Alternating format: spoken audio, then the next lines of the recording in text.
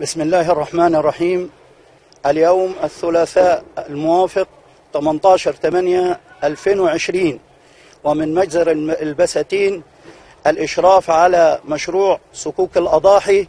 تم اليوم تحميل 12 طن لحوم من المجزر بواقع لأربع محافظات. بواقع ثلاثة طن لكل محافظة.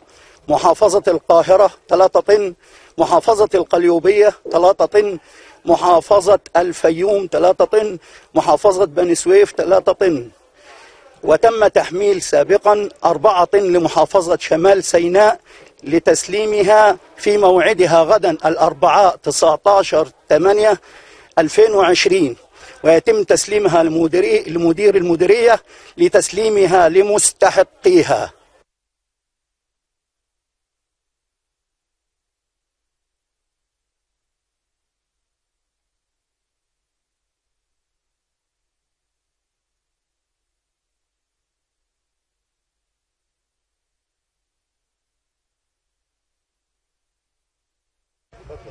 بسم الله الرحمن الرحيم. أنا متجه من مجزر البساتين إلى إدارة بركة الحج. آه، هذا الخير يعني كثير من الناس ينتظروه من العام إلى العام. وربنا يبارك في أهل أهل الخير الذين قاموا بهذا العمل المبارك. آه، هشام شحتة حامد آه، بنها اليوبية آه، محمل 3 طن آه، لحوم من سك الأضاحي